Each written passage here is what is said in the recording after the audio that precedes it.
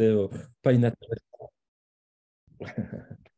Je pensais que c'était euh, pas inintéressant de, refaire le tour de, cette question. Alors cette question, de mon point de vue, euh, attendez, donc là j'essaye de passer à la diapositive suivante, voilà, à quelque chose d'un peu personnel en fait et d'éminemment euh, politique. Vous avez là la photo de Bernard Rentier, qui était mon recteur euh, il y a une quinzaine d'années. Il y a une dizaine d'années, il me téléphone et il me dit euh, Ah Pascal, tu sais que maintenant je suis conseiller du ministre de l'enseignement supérieur. Le ministre déteste les QCM, il hésite même à légiférer contre les QCM, mais avant qu'il fasse quelque chose comme ça, moi je sais quand même que bah, s'il légifère contre les QCM, on va quand même avoir des problèmes pour, pour évaluer nos, 500, 700 étudiants par filière. Donc, j'aimerais qu'il te rencontre. Et donc, voilà le ministre de l'enseignement supérieur et je le rencontre. Pour ceux qui seront euh, à Mons, venez me trouver et je vous raconterai en fait que toute cette histoire commence dans les toilettes hommes d'un lycée liégeois. Mais voilà, comme il est encore un peu tôt, je ne vais pas vous remonter aussi loin. Je remonte à cette réunion provoquée par mon, mon, mon prorecteur. Et j'arrive, il y a le chef de cabinet du ministre qui m'accueille, euh, qui me fait un peu patienter. Mon recteur est déjà là. J'y vais avec Bastian Cray, qui est la, la directrice du, SMART, donc la, structure à Liège qui gère les, QCM. J'en suis le responsable académique. On attend un peu. Et puis arrive le ministre, qui est quelqu'un d'extrêmement charismatique, beaucoup plus grand d'ailleurs que, que ce que je pensais, qui se penche un peu les deux poids sur la table et qui me dit et je vous cite sa citation, Monsieur de Trot, je déteste les QCM, vous avez dix minutes pour me convaincre que j'ai tort. Alors j'avais un peu prévu le coup, euh, évidemment, j'avais anticipé euh, sa question, et je lui réponds, vous avez bien raison de détester les QCM, moi-même je ne les aime pas beaucoup, et il faut sans doute les supprimer à l'université. Alors là, évidemment, ça change un peu son paradigme parce qu'il pensait que j'allais défendre à corps et à cri euh, les QCM et puis voit que ce n'était pas le cas. Donc, il s'inquiète un peu de finalement, est-ce que je suis le bon interlocuteur? Et je lui dis, bah oui, il faut évidemment supprimer les QCM à l'université. Les QCM les QCM ne permettent pas d'évaluer les performances cognitives les plus complexes, synthèse, évaluation, jugement, créativité, qui sont quand même des choses qu'on peut attendre d'un étudiant universitaire. Ça permet peu d'évaluer les savoir-faire et rarement les savoir-être. En fait, quasi jamais, sauf si on utilise les degrés de certitude, mais je ne vais pas rentrer dans euh, ce, ce débat-là. Autre argument, les étudiants ne produisent pas leurs propres réponses, idées, solutions. Ils doivent juste choisir une solution parmi des solutions qui leur sont proposées. C'est quand même moche à l'université de ne pas pouvoir produire une réponse. Dans la vie, on doit produire des réponses. On ne doit pas simplement choisir dans un choix limité. Par ailleurs, les QCM sont souvent mal conçus euh, par les enseignants. Les questions portent parfois sur des détails. Elles sont même parfois triviales. Si vous voulez, je vous raconterai des, anecdotes de questions complètement triviales que j'ai vues dans mon université et contre lesquelles j'ai dû un petit peu lutter. Euh, conscient de l'ensemble de ces défauts, les étudiants s'adaptent en conséquence. Et donc, ils vont privilégier une étude en surface de la matière, quelque chose qui leur permet de réussir le QCM, pas de comprendre en profondeur la matière pour éventuellement faire des liens complexes de l'ordre de la synthèse. Pire que ça, les meilleurs qui n'ont pas cette approche surfacielle vont être désavantagés par le QCM. Il y a des études qui montrent effectivement que les étudiants qui, ont, le mieux intégré la matière, vraiment la crème de la crème des étudiants qu'on peut avoir, et eh bien parfois, quand on leur propose, propose un QCM à une réponse qui paraît évidente, eh bien, ils la remettent en question parce qu'ils ont lu des trucs qui, oui, mais dans quel cas, oui, mais dans ce cas-là particulier, je ne suis pas sûr que la réponse est correcte, donc ils tergiversent et finalement, ils sont un peu désavantagés par les QCM. Et en plus, il est plausible, pas certain, ça dépend des études, euh, que ce type de modalité d'évaluation avantage les garçons plutôt que les filles. Donc, il y a un biais de genre par rapport à ça. Donc, je lui dis bien sûr que moi aussi, je déteste les euh, QCM, pour toutes les raisons que je viens de vous dire. Et donc, quand on observe calmement les QCM, on voit évidemment tout ce côté un peu négatif des QCM. On en voit un certain nombre d'avantages aussi, mais on voit ce côté tout négatif.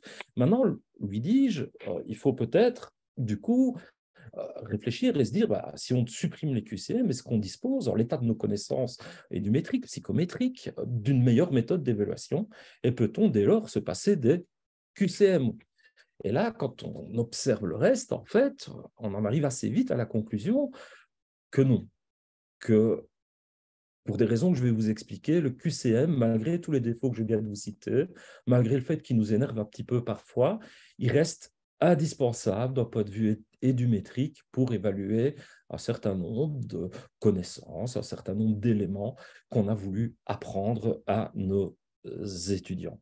Et je lui ai fait l'analogie, hein, monsieur le ministre, d'une centrale nucléaire. Une centrale nucléaire, c'est moche, ça pue, euh, enfin non, ça ne pue pas en fait, mais c'est moche, c'est dangereux, hein, ça me fait un peu peur. Et puis quand il y a un accident nucléaire, vraiment là, on flippe complètement. Et donc, est-ce qu'il faut supprimer les centrales nucléaires? Évidemment, enfin, on, on est citoyen, on n'a pas du tout envie d'avoir des centrales nucléaires. Quand on se dit, est-ce qu'on peut raisonnablement se passer des centrales nucléaires, le débat en Belgique est mené en tout cas. Le débat en Belgique, ce n'est pas pour le moment. On n'a rien d'équivalent qui peut remplacer le nucléaire. On n'a pas assez investi dans l'énergie renouvelable. Aïe, aïe, aïe, c'est une grosse bêtise, mais c'est une réalité. Donc, je ne suis pas en train de défendre le nucléaire, je suis juste en train de dire que comme on n'a pas investi dans des énergies euh, plus propres, euh, soit on, opte pour des, des, énergies qui sont beaucoup plus polluantes que le nucléaire, et il faudrait qu'on aille vite parce que bah, ça prend du temps de construire des centrales euh, au charbon, de construire des centrales au gaz. Et on voit en plus que ce n'est pas nécessairement le bon moment pour le faire. Euh, donc, du coup, euh, ouais, quand on regarde la centrale nucléaire, on se dit que ce n'est pas très bien. Mais quand on regarde, est-ce qu'on peut vraiment s'en passer? Bah, En tout cas, en Belgique, la, réponse pour le moment, à court terme et plutôt non, on peut espérer en tant que citoyen qu'à long terme, on puisse enfin s'en priver. Alors pourquoi? Quel est le problème qui nous empêcherait de supprimer les QCM D'abord, on va se mettre d'accord, évaluer, prendre de l'information qui donnera lieu à un jugement de prendre des décisions. C'est un peu ça qu'on fait. quand on évalue dans le supérieur un étudiant, on prend de l'information sur ce qu'il est capable de faire, de dire, de penser, d'agir, de se comporter, savoir-faire, savoir-être, savoir, vous connaissez tout ça. Euh, et sur cette analyse de l'information qu'on va recueillir, on va produire un jugement, c'est suffisant, c'est pas suffisant, ça mérite 15, ça mérite 12, et on va prendre des décisions de laisser passer l'étudiant, de le retenir, de lui donner un grade, euh, etc. Donc c'est une définition assez classique de, l'évaluation. Donc qu'est-ce qui se passe? Je vous présente le petit schéma sur la droite.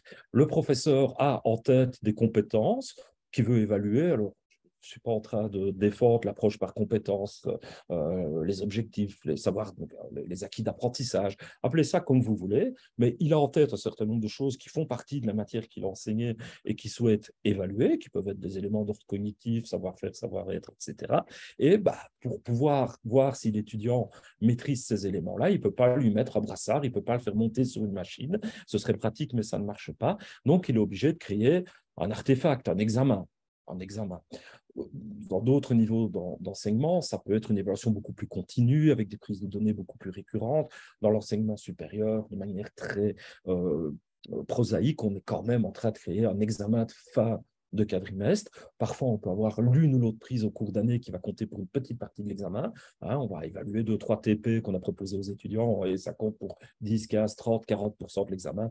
Mais grosso modo, quand même, et une, étude qu'on a fait en tout cas en Belgique le montre il y a une dizaine d'années, qui s'appelle une étude Prades.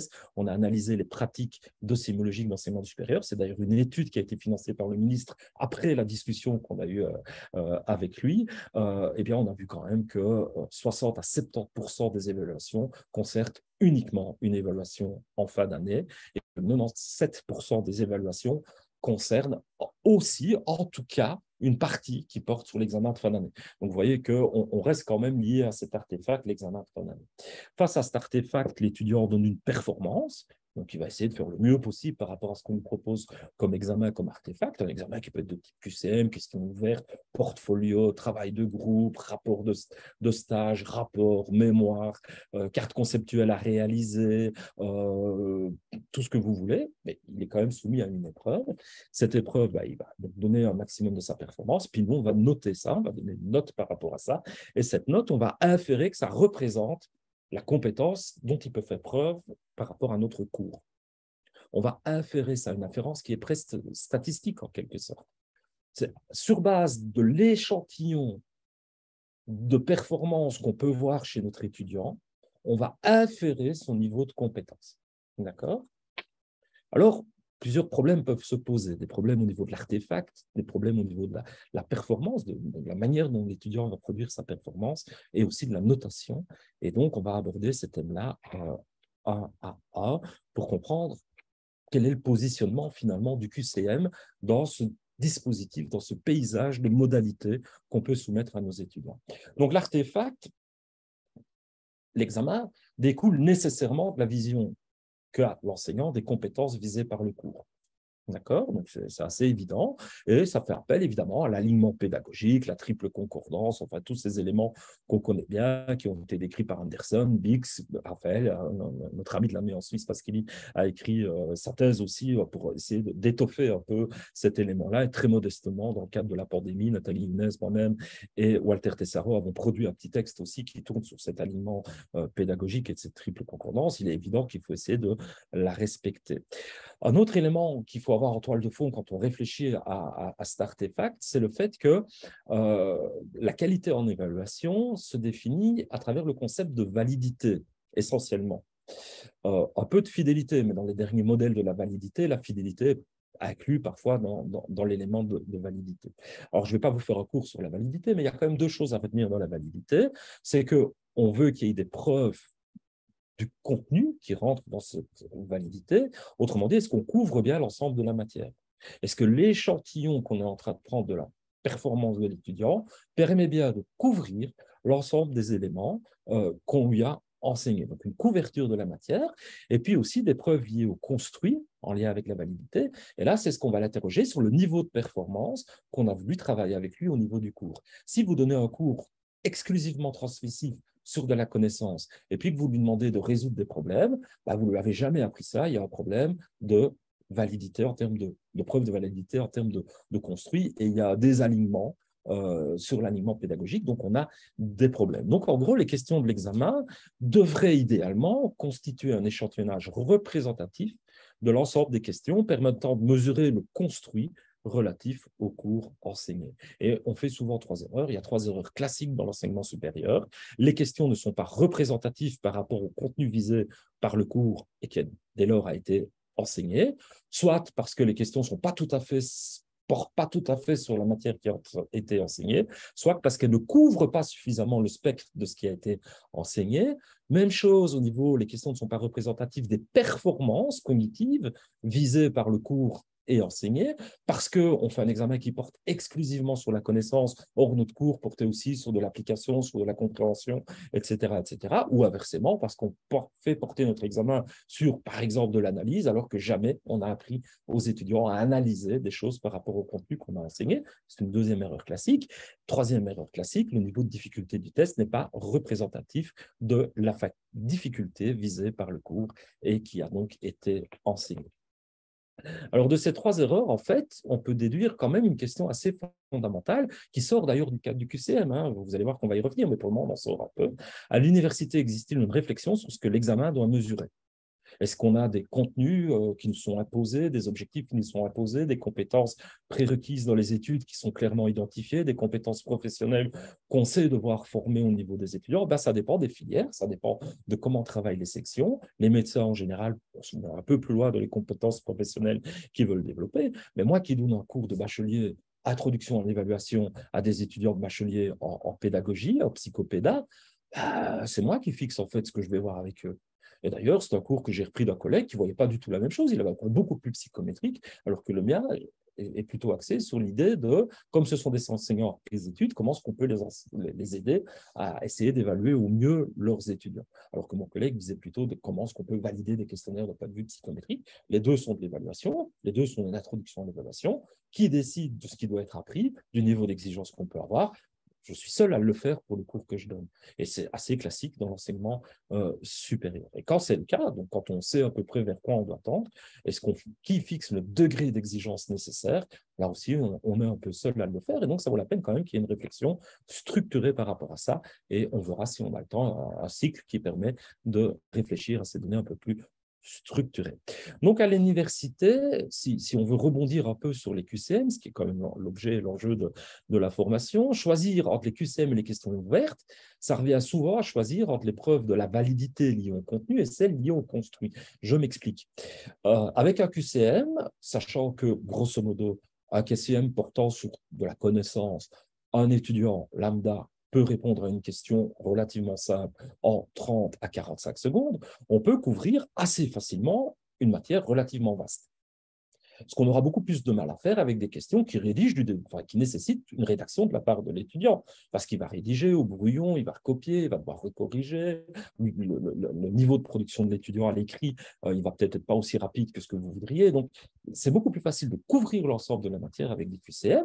Ça, c'est ce qui va nous permettre d'obtenir des preuves liées au construit. Oui, on a bien couvert toute la matière, mais par contre, le QCM est limité à des au niveau taxonomique, si on prend Bloom par exemple, à des niveaux de base, connaissance certainement, certains disent reconnaissance, mais admettons connaissance, compréhension, oui, application quand il s'agit de procédures simples, oui, analyse, c'est déjà beaucoup plus difficile, synthèse, évaluation, ça devient euh, impossible. Donc, on ne va pas monter très haut dans les niveaux taxonomiques, mais on va bien couvrir l'ensemble de la matière. Or, les questions ouvertes, les portfolios, euh, les cartes conceptuelles que vous demandez de rédiger à vos étudiants, euh, les écosses si vous êtes en médecine, donc toutes ces autres modalités non standardisées vont vous permettre justement d'aller chercher ces niveaux de performance les plus élevés. Mais si vous ne faites que ça, vous ne couvrirez pas bien la matière, vous aurez l'occasion de poser deux, trois questions à vos étudiants. Si vous avez 15 chapitres et que vous évaluez une question qui porte sur le 3, une question qui porte sur le 7, une question qui porte sur le 15, quand vous devrez à un moment donné noter ça et faire l'inférence que le résultat des étudiants ces trois chapitres reflète la qualité de ce qu'il est capable de faire en termes de compétences, bah, c'est un peu limite. On ne le ferait pas pour nos études statistiques. Hein. On ne partirait pas de trois prises de données euh, comme ça et puis de dire, ouais, ouais, ça, ça reflète complètement euh, la vie d'une population. On ne le ferait pas au niveau statistique pour, pour, des données. Donc, pourquoi ce qu'on fait pour nos étudiants? Ça me semble être une, bonne question. Donc, voilà, il y a, du texte qui euh, explique ça, mais, mais, mais en gros, c'est la réalité. et donc, l'oral pose évidemment d'autres problèmes encore que ça, parce qu'ici, je viens de comparer des éléments liés avec les QCM et des questions à réponse ouverte longues de production de l'étudiant ou du portfolio ou, ce genre de choses. Quand on interroge l'étudiant à l'oral, donc, on lui permet de piocher dans un set de questions les questions auxquelles il va être confronté, où on lui donne carrément des questions et il doit défendre oralement sa position par rapport à ça. Au Belgique, c'est très fréquent au niveau universitaire, au Canada, beaucoup moins. Mais, mais, mais voilà, donc euh, c'est une réalité belge et, je pense française aussi. Euh, dans la majorité des cas, en fait, les étudiants ne vont pas être soumis aux mêmes questions puisqu'ils piochent des questions au hasard. Et puis, pour ne pas qu'ils sortent en disant au candidat suivant, c'est ça la question, voilà, on multiplie les questions. Mais ces questions ne sont pas d'un niveau de difficulté équivalent. Donc, on va avoir un certain nombre de problèmes d'équité par rapport à nos étudiants. Par ailleurs, même si l'enseignant appelle de tous ses voeux à une forme de comportement identique et standardisé pour chaque étudiant, on sait très bien, les études en psychométrie le montrent, la sympathie qu'il a pour l'étudiant, l'effet de halo, l'état émotionnel de l'étudiant, est-ce que son état émotionnel à nous-mêmes, correcteur, l'attente préalable qu'on a à l'étudiant, c'est un bon étudiant, c'est un étudiant faible, sont tas de facteurs qui vont orienter en fait la relation vers l'examen. Or, celle-ci, cette relation-là a un poids déterminant sur la performance de l'étudiant. Est-ce qu'on va l'aider, est-ce qu'on ne va pas l'aider dans un examen oral? Dans l'enquête Prades dont, dont, je vous ai parlé précédemment, on a posé cette question. On a posé au prof la question, si un étudiant est bloqué à l'oral, est-ce que vous l'aidez? On s'attendait à avoir du oui ou du non. On a eu pour 70% du cas, ça dépend. Et j'avais envie de dire, mais ça dépend de quoi?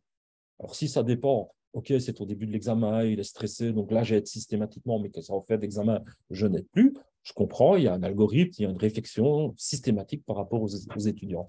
Mais si ça dépend de mon humeur, de mon état de fatigue, de la sympathie que j'éprouve pour l'étudiant ou pour l'étudiant, euh, là, on commence à avoir des problèmes d'équité aussi, et c'est extrêmement difficile de maîtriser ça au niveau de l'examen oral.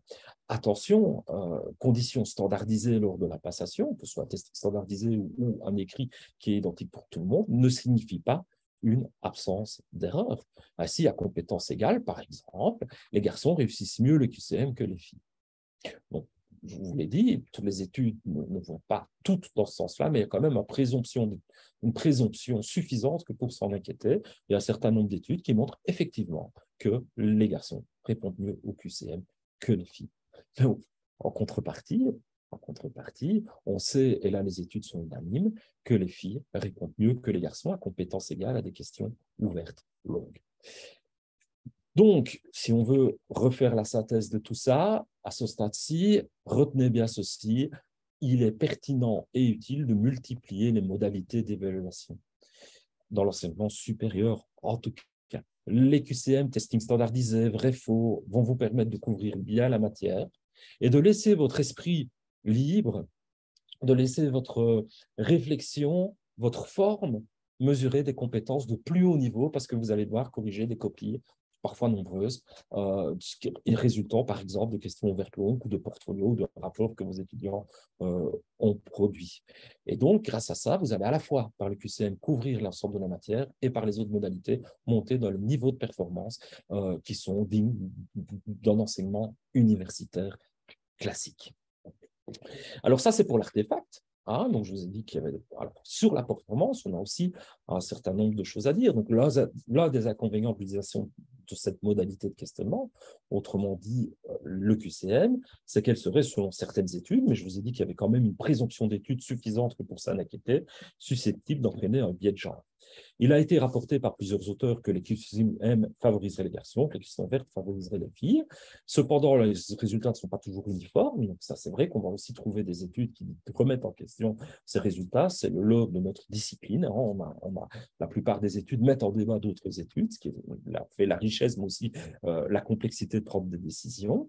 Euh, et parfois, des résultats ne sont pas toujours confirmés dans la littérature. Donc, les recherches intéressent de manière croissante, en fait, à l'impact des modalités de questionnement sur certains groupes spécifiques d'étudiants et notamment sur euh, les biais euh, de genre. C'est des études qui sont difficiles à mener parce que la reproductibilité n'est pas garantie.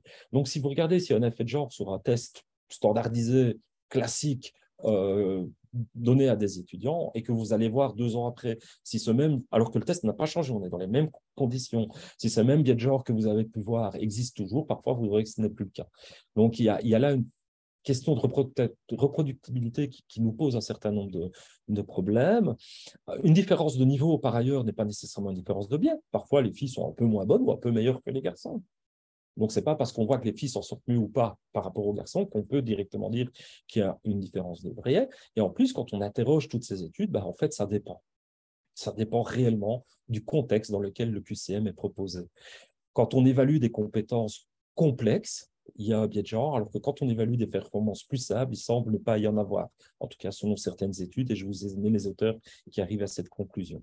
Quand on évalue des compétences. Alors, la complexité, c'est la difficulté des items. Quand maintenant on mesure des compétences du haut niveau de la taxonomie de Bloom ou de bas niveau de la taxonomie de Bloom, il y a parfois des effets de genre qui se marquent aussi pour les compétences de haut niveau, alors que les, les compétences de niveau inférieur ne marquent pas de, biais de genre. Ça dépend de la finalité de l'évaluation. Si c'est une évaluation formative, les filles vont performer de la même manière que les garçons. Si on annonce que cette évaluation va être sommative, certificative, va compter pour des poids, qui vont compter pour le bulletin, les filles sont un peu moins bonnes que les garçons, alors que les garçons vont être galvanisés par l'enjeu.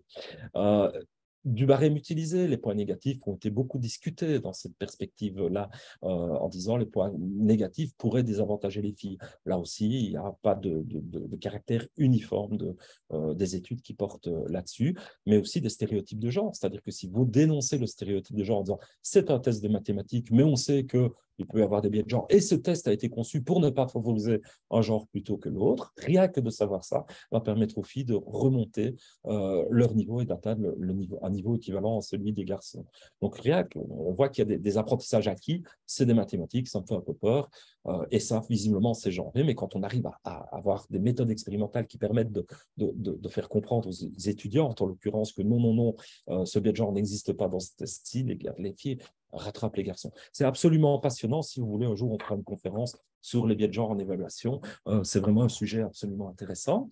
Euh, et par ailleurs, il y a un effet d'apprentissage aussi. C'est-à-dire que la première fois que les filles et les garçons sont confrontés avec QCM, les garçons vont un peu mieux performer, mais plus les filles ont habitué, plus elles sont entraînées à faire du QCM, moins elles vont être euh, pénalisées, encore une fois, à compétences égales. Donc, il y a un certain nombre de, de données qui précisent cela. Donc, take-home message, principe de précaution, multiplions pour la performance, les modalités d'évaluation aussi, donc le message elle-même, mais pour d'autres raisons, euh, et notamment parce que euh, ben voilà, certaines euh, modalités de questionnement vont favoriser les filles, d'autres vont favoriser les garçons, et donc un mixte des deux pourrait permettre d'être plus cohérent, d'être plus juste dans notre manière d'évaluer. Alors, on en arrive au, troisième pan. Hein. donc, vous vous souvenez du, petit modèle, il y avait euh, l'artefact, il y avait la performance de l'étudiant, puis il y avait la notation, la correction.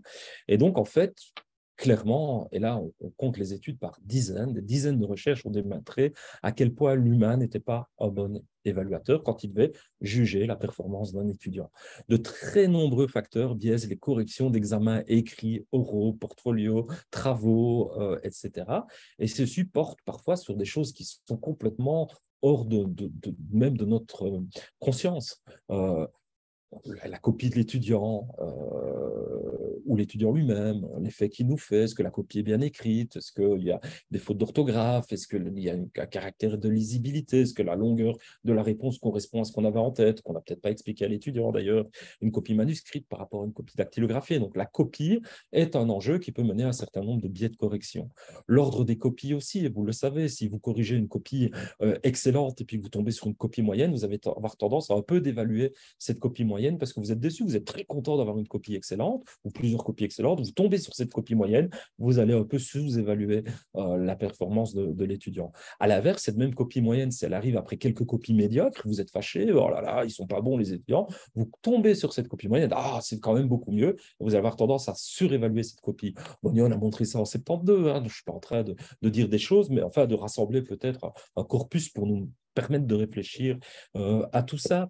Euh, on a le, correcteur, on a une fidélité inter correcteur qui est relativement médiocre. On peut être fatigué, on peut être en forme, de bonne humeur, de mauvaise humeur. Tout ça va influer sur notre euh, correction, notre expérience. On sait que les correcteurs qui manquent d'expérience vont être beaucoup plus euh, sévères que ceux qui ont de l'expérience. Demandez si vous avez des assistants. En Belgique, on a des assistants, donc on est prof, puis on a des assistants. Donc des gens qui nous aident, euh, qui, n'ont pas le statut de prof. En général, c'est des jeunes qui sortent des études, ils sont beaucoup plus sévères que nous.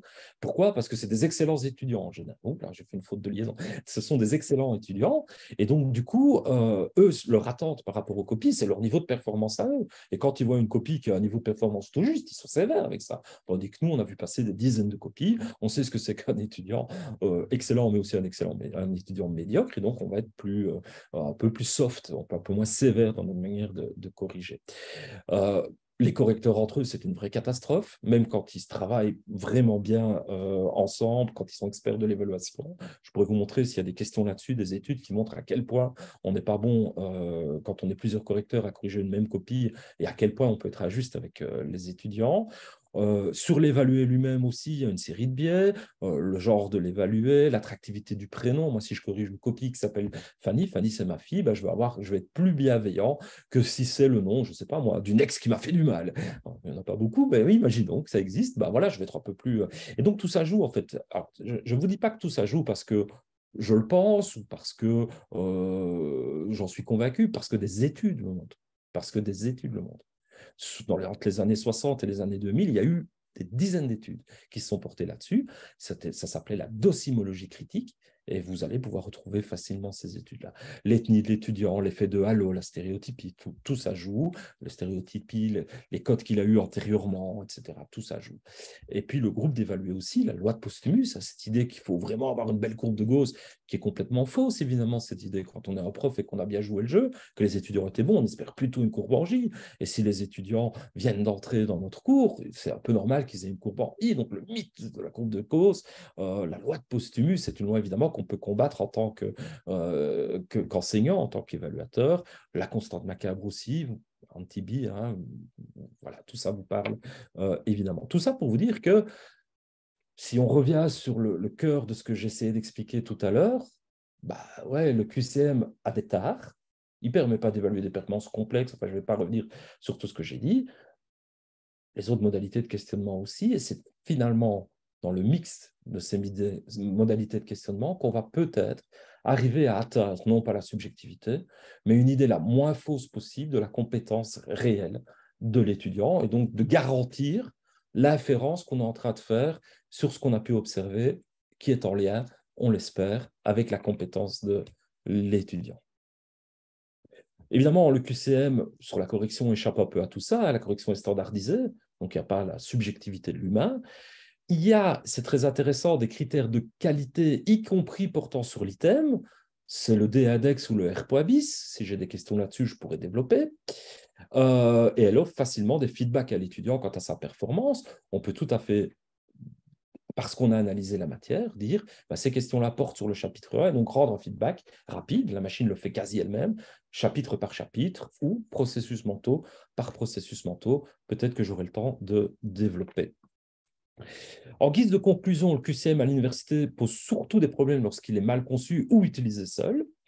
Si leur construction s'inscrit dans une approche qualité ils permettent de mesurer la connaissance, l'application, la compréhension, voire pour les meilleurs d'entre eux, ceux qui, ont été le mieux conçus, l'analyse. Et en fait, on a pu démontrer, Dieudonné Leclerc a pu faire une étude là-dessus il y a maintenant quelques années, on a pu démontrer que malgré tout ce qu'on dit, malgré tout ce qu'on pense, malgré tout ce qu'on voudrait, la connaissance, l'application, la compréhension et l'analyse restent les compétences les plus souvent évaluées, y compris quand on a des dispositifs complexes d'évaluation dans l'enseignement supérieur. C'est pas pour ça qu'il ne faut pas évidemment monter plus haut dans les taxonomies, mais quand on observe ce que les profs font, et vous pouvez réfléchir à vos collègues ou à vous-même, on reste quand même très souvent lié à la connaissance, l'application, la compréhension, parfois à l'analyse. Des modalités autres qu'on peut ajouter à des QCM, les solutions générales implicites, faire du testing adaptatif, ajouter des théories de réponse à l'item, pourquoi pas développer des, des tests de concordance de script, tout ça vous échappe peut-être si vous n'êtes pas familier avec les QCM, mais faites-moi confiance, permettent peut-être d'améliorer encore la qualité des QCM classiques, voire d'en étendre l'empan, de faire en sorte qu'ils mesurent un peu des choses d'un peu de niveau euh, supérieur. Les QCM ont plutôt une bonne validité prédictive quant aux performances de niveau supérieur, c'est-à-dire quand un étudiant est très bon dans les QCM et dans les performances de plus de, niveau un peu plus faible dans la taxonomie de Bloom, c'est un bon prédicteur du fait qu'il va pouvoir rendre euh, compte de compétences élevées aussi. Et donc ça, Phelps l'a démontré en, 2005, mais d'autres auteurs l'ont démontré aussi. Donc, question, est-ce qu'on peut n'utiliser que du QCM à l'université? La réponse est bien évidemment non, il faut multiplier les modalités d'évaluation. C'est vraiment quelque chose sur lequel j'ai suffisamment euh, précisé ma pensée. Euh, il y a sans doute beaucoup de QCM dans, notre, dans nos universités. Une université comme l'Université de Liège, 20 000 étudiants, 1200 QCM par an. Test QCM par an. C'est immense. Ça veut dire qu'il y a des étudiants, mais, mais on peut comprendre les profs, parce qu'il y a des corps de 1000 étudiants, c'est difficile d'avoir une autre modalité d'évaluation que QCM, mais il y a des corps d'étudiants en premier bachelier qui n'ont quasi que du QCM. Donc évidemment, ça pose un certain nombre de, problèmes, je ne vais pas revenir là-dessus. Bien sûr, certaines compétences nécessitent un écrit ou une action et nécessitent d'autres modalités de questionnement. Voilà pour le premier élément que je voulais, euh, dont je voulais parler avec vous, qui est finalement ben, qu'en penser.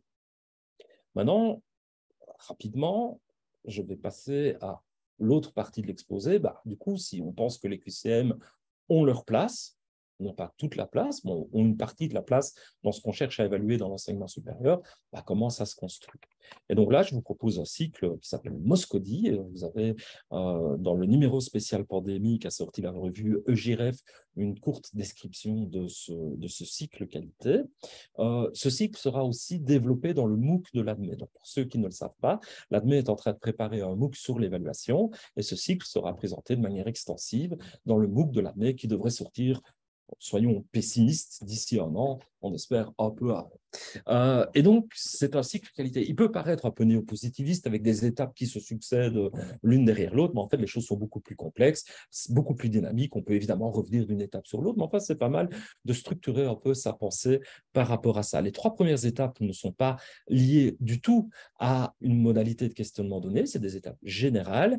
Les suivantes sont plus liées on prenne une coloration différente en fonction des modalités de questionnement. Et donc aujourd'hui, sur les dix minutes qui restent, on va passer en, revue rapidement euh, ces étapes-là et plutôt se focaliser sur le QCM puisque c'est le but de l'exposé.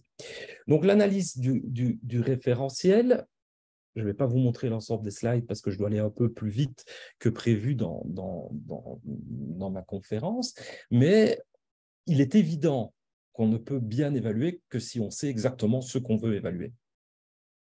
On a un nombre d'items limité, même si on a un QCM, on va avoir 30, 60 QCM maximum, on ne peut pas en mettre 500 aux étudiants, et, les questions à réponse ouvertes longues, on, est encore plus limité que ça. Ça veut dire que l'item qu'on va proposer à l'étudiant, il a une valeur. Et il faut que cet item porte sur un élément important de la matière, pas sur un élément euh, anecdotique, pas sur un élément en bas de page, euh, dans les notes en bas de page, mais sur un élément importants de la matière. Et pour être sûr de ça, il faut avoir un référentiel d'évaluation cohérent qui découle du référentiel de formation. Et il faut donc savoir exactement ce qu'on a enseigné et pourquoi pour arriver à déterminer les éléments. Alors, je vous montre quand même très rapidement comment on peut le faire. Ceci est une table de spécification et je pense que la table de spécification dans l'enseignement supérieur est un outil extrêmement puissant pour analyser euh, ce référentiel d'évaluation, être capable de le produire. Donc voici une de, un extrait de table de spécification d'un cours que je donne sur l'introduction à l'évaluation. Je vois la validité, je vois la validité selon deux grands courants. Le premier, c'est des standards anglo-saxons édictés par la NCME, la ERA et l'APA, qui contraignent des preuves. Euh, il y en a six qui sont là notées sous vos yeux. Et puis je vois aussi le modèle de Ken, et le modèle de Ken prévoit qu'il y a quatre références pour arriver à un niveau de fidélité euh, de validité pardon, suffisant. Donc ça, c'est des choses que je vois. Donc je liste simplement les points de matière que j'ai vus avec les étudiants. Et puis, je sais que mon cours, bah, quand je l'interroge, mes étudiants, systématiquement, dans ce cours-là en tout cas, il y a des éléments de connaissance, de compréhension, d'application et d'analyse. Et donc, je vais essayer de me dire, bah tiens, la preuve orientée sur le contenu qui fait partie des standards, qui fait partie de la validité, est-ce que c'est important, oui ou non? Et vous aurez compris que pour moi, c'est important puisqu'on en a parlé. C'est l'idée de bien couvrir toute la matière. Donc, j'ai mis une priorité élevée. Par contre, j'ai parlé aussi du processus cognitif, c'est le construit. Donc là, je mets aussi une... Par contre, les autres, je ne vous en ai pas parlé. Et même si j'avais parlé un peu plus du concept de validité, je ne suis pas sûr que la relation aux critères, j'en aurais parlé avec vous. Donc, j'ai mis des priorités faibles. Et donc, vous voyez que ça me donne un tableau qui va structurer les éléments importants de ma matière, très organisé, très systématique, qui va me donner lieu à réfléchir en disant, ben voilà, quand je serai dans l'étape de conception des questions, je ne pourrai pas proposer une évaluation qui ne pose pas de questions sur là où il y a du sac, par exemple. L'application géniale, je vais faire du QCM. L'analyse, c'est plus compliqué. Je vais faire une question à réponse ouverte. Donc, c'est vraiment un tableau de bord qui va vous guider tout au long de l'évaluation. La deuxième étape de Sigmo Scodi, c'est définir les finalités et les valeurs de l'évaluation. C'est-à-dire, OK, je suis un prof, comment est-ce que j'imagine mon évaluation? Est-ce qu'elle est certificative uniquement en fin d'année? Est-ce que je vais avoir des éléments formatifs dedans? Pourquoi pas est-ce qu'en début d'année, je vais avoir quelque chose de plus émancipateur par rapport à mes étudiants? Euh, Comment est-ce que je vais organiser? Quelles vont être les valeurs qui vont sous-tendre et les finalités de l'évaluation qui vont sous-tendre mon approche évaluative? Donc, c'est des questions philosophiques générales sur l'évaluation que je vais me poser par rapport euh, à mon cours. Ce qui va donner lieu, une fois que j'ai analysé ma matière et que j'ai établi ces valeurs-là, à une architecture de l'évaluation, avec deux choix principaux, quelles vont être les modalités et les options de questionnement que je veux proposer à mes étudiants, et quelle va être la temporalité de mon évaluation Est-ce que je vais faire du QCM au cours d'année de manière formative et puis un petit QCM en fin d'année, mais là avec des questions-réponses ouvertes, ce qui me permet de mesurer qu'ils vont bien travailler, qu'ils ont bien compris comment je posais mes questions QCM, etc. Et puis je vais finaliser avec ça. Est-ce que du coup, ce que je vais faire en cours d'année va compter quand même un peu pour des points pour la note finale ou est-ce que ce sera strictement formatif? Ça, je le sais avec mes valeurs et mes finalités de l'évaluation. Mais ici, on fait les plans généraux de l'évaluation sur une année. Jusque-là, on va choisir les modalités de questionnement, mais vous voyez que ces trois premières étapes, elles sont génériques par rapport à un cours, pas spécifiques à une modalité d'évaluation.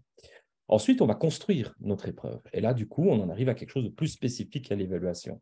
Quand on est sur le QCM, puisque c'est l'objet de, notre, euh, de la conférence d'aujourd'hui, c'est à cette étape que va être détaillée puis opérationnalisée l'architecture qui a été réfléchie à l'étape précédente. Ça veut dire quoi? Ça veut dire qu'on va créer les items, on va créer les consignes, on va créer le dispositif, mais on va réfléchir au barème de poids qu'on va proposer à nos étudiants.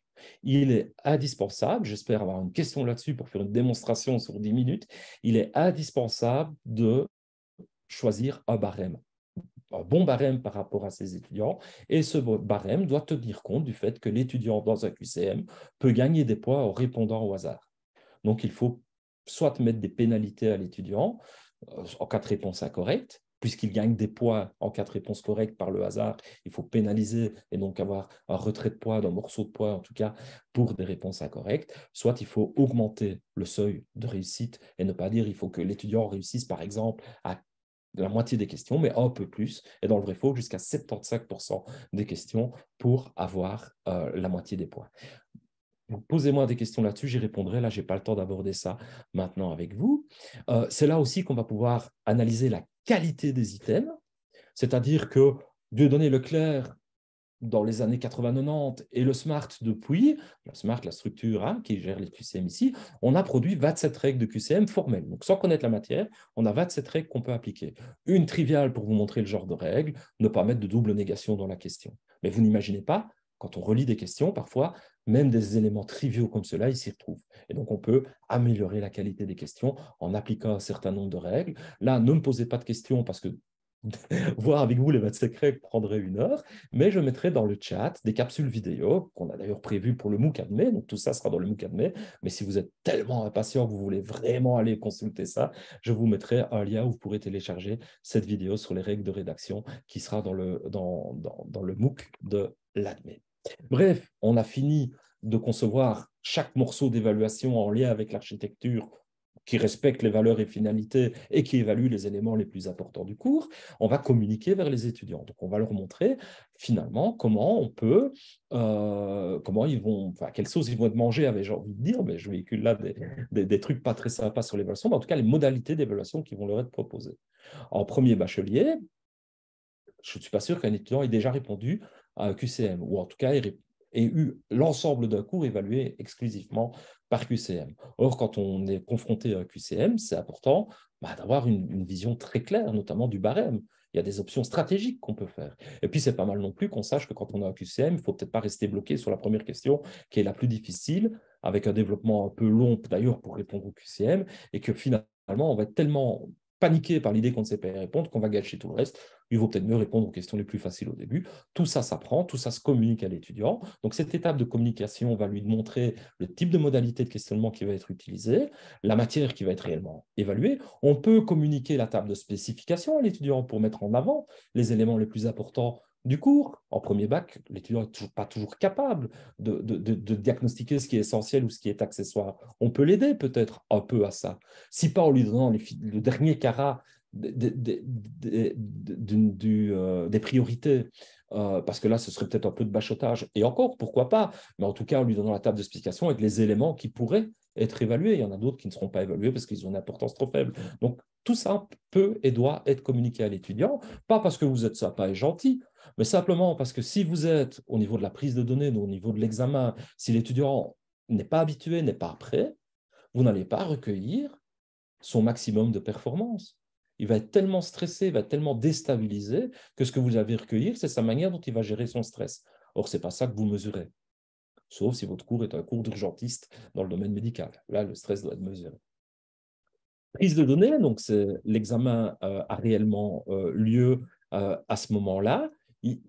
Classiquement, on peut, avoir des données observées, donc là, on ne met pas en place un artefact, etc. On, va plutôt observer l'étudiant euh, euh, quand il, à la fin de l'entraînement, il fait un petit match et puis on va pouvoir là-dessus bah, observer euh, des éléments et, puis noter au final la compétence de l'étudiant. Mais dans l'enseignement universitaire, la plupart du temps, et avec le QCM systématiquement, c'est des données suscitées, c'est-à-dire qu'on a mis en place un dispositif d'évaluation qui ne sert qu'à évaluer, a priori, pour ça qu'on ne peut pas donner un feedback formatif, mais son enjeu principal est d'évaluer, c'est-à-dire de recueillir l'information nécessaire au jugement pour produire une décision. Étape suivante, jugement et décision. Correction, c'est là qu'on va appliquer le fameux barème de poids dans le cadre des QCM, mais euh, dans le cadre des QCM, la beauté du, du geste, c'est qu'on va pouvoir aussi avoir un indicateur de qualité de chaque question. Je vous en cite deux. Là aussi, si j'ai des questions en un petit quart d'heure, je peux vous présenter le PowerPoint euh, qui va euh, vous présenter ces deux indicateurs ou à des deux indicateurs. Là aussi, je vous mettrai le lien vers une vidéo plus complexe dans le chat quand j'aurai fini de, parler. Mais ces deux indicateurs fonctionnent de la même manière. C'est est-ce que les étudiants qui ont bien répondu à un item sont aussi ceux qui ont bien réussi à l'ensemble du test? Si c'est le cas, l'item est cohérent par rapport au reste du test. L'étudiant est compétent, vous le voyez parce qu'il a bien réussi son test, et il a bien réussi l'item, ce n'est pas un problème. Si on est dans un pattern inverse, c'est-à-dire que les étudiants compétents au test ont raté cet item, voire même, avec leur quavis, on peut le savoir, que les étudiants incompétents ont bien réussi cet item, et dans le même temps, les compétents l'ont raté, on a une alerte. L'item ne fonctionne peut-être pas comme il devrait fonctionner. Donc avec le QCM, on a cette possibilité d'avoir une analyse a posteriori de la qualité des questions qui vous permet quand vous appliquez ces statistiques, de réguler le test. 10% des tests qui sont corrigés au niveau du SMART, pour lesquels on renvoie systématiquement le RPABIS au prof, 10% des tests amènent à une recorrection. Le prof s'est trompé dans la réponse correcte. Il avait lu un peu rapidement l'énoncé quand il avait encodé au niveau d'une fiche euh, qu'on lui demande de remplir les réponses correctes. Le prof avait choisi la réponse B, qui était effectivement la bonne réponse, mais quand il voit l'RPOABIS, il se dit que la C est peut-être meilleure, il n'y avait pas pensé. Il y a un contexte où la C prend le pas sur la solution B. Alors que la B est correcte. Hein. Donc, il peut valider les deux distracteurs, et parfois, il se rend compte que la question est tellement pourrie, mais il le voit avec les statistiques, qui peut décider de la supprimer ou en l'occurrence de donner le poids à tous les étudiants. Donc il peut réagir là-dessus, ce qui va être plus juste par rapport à l'étudiant. Et quand on fait des... une étude qui a été faite là-dessus par, par Jean-Luc Gilles, on a vu que ça a amélioré quand on avait une recorrection, euh, que ça déplaçait la, la, courbe de réussite vers la, la droite, évidemment, pas pour être sympa, mais parce que c'est légitime, c'est-à-dire qu'on avait corrigé avec une malformation, euh, mal donné le QCM proposé aux étudiants. Donc DADEX RPOABIS, super intéressant, je vous mettrai la capsule. Si vous avez des questions là-dessus, je pourrais y répondre.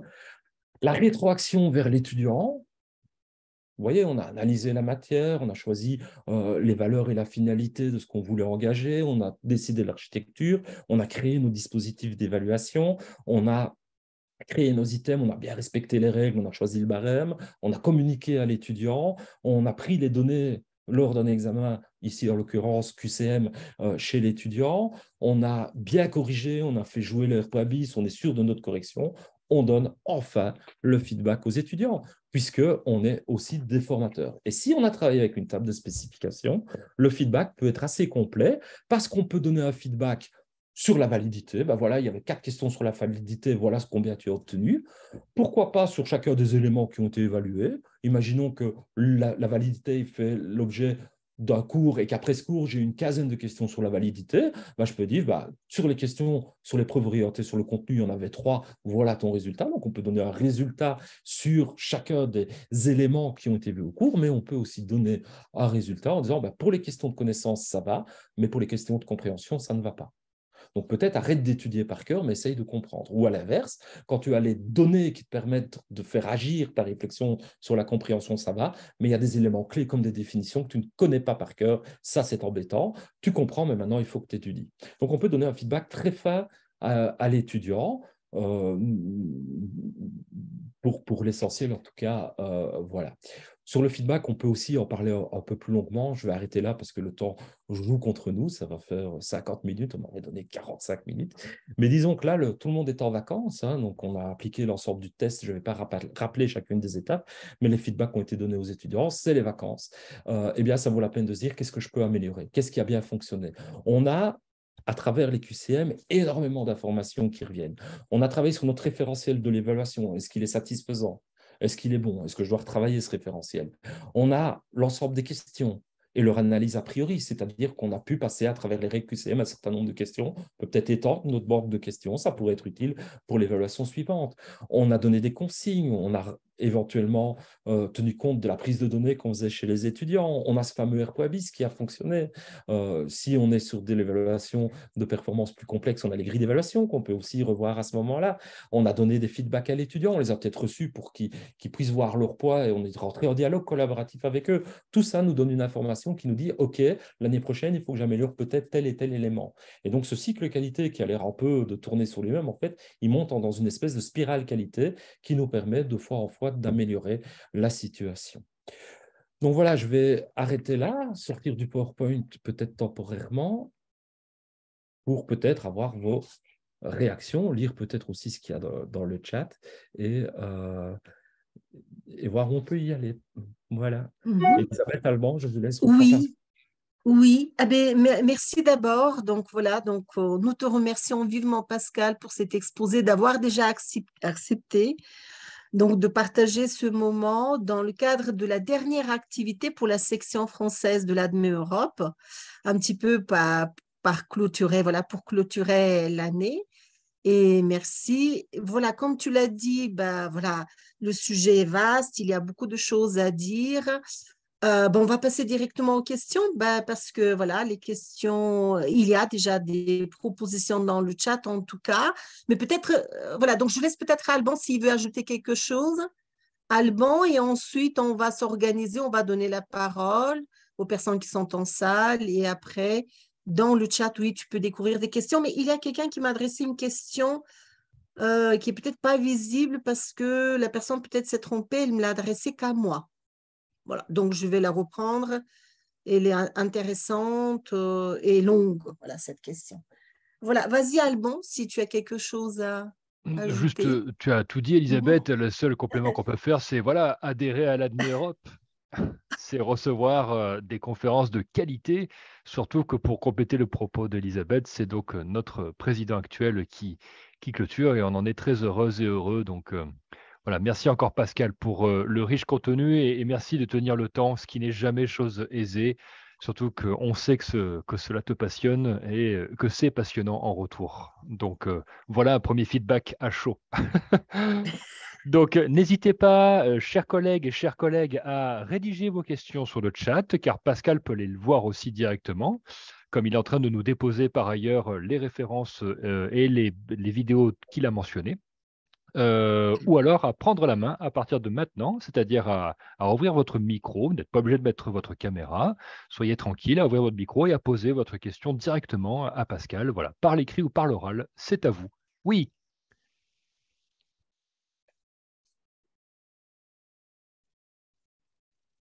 Claire a une question, je pense. Elle a levé la main. Mm-hmm. Mm-hmm. Je t'écoute, Claire. Oui, oui. Claire, on ne t'entend pas si tu poses ta question. À mon avis, tu n'as peut-être pas allumé ton micro. Cela ne fonctionne pas. D'accord. Prenez le temps de, dans ce cas-là ah. d'écrire. Super. Prenez le temps d'écrire, on, va, on va le veiller. Elisabeth, tu veux copier-coller peut-être la, grande question que tu avais? Oui, ah oui, oui, voilà, je vais faire ça en attendant. Et avant celle-ci, il y avait une autre dans le chat, mais peut-être il y a d'autres personnes qui souhaitent s'exprimer. Je ne vois pas des mains levées, mais n'hésitez pas. Et je vais coller la question pour la... Voilà.